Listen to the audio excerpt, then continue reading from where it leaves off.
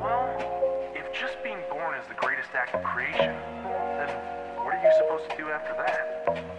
Isn't everything that comes next sort of a disappointment? Slowly entropy until we deflate into a pile of mush.